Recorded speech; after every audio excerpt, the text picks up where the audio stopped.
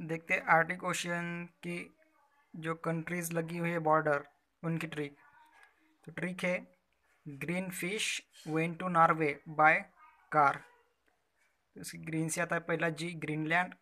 Fish का पहले तीन अक्षर एफ़ से फिनलैंड आई से आइलैंड और आइसलैंड और एस से स्वीडन और फिर नॉर्वे का आता है डायरेक्ट नॉर्वे फिर कार कार के पूरे कैपिटल जो है, उसके आता है सी से कैनेडा ए से अलास्का और आर से रशिया।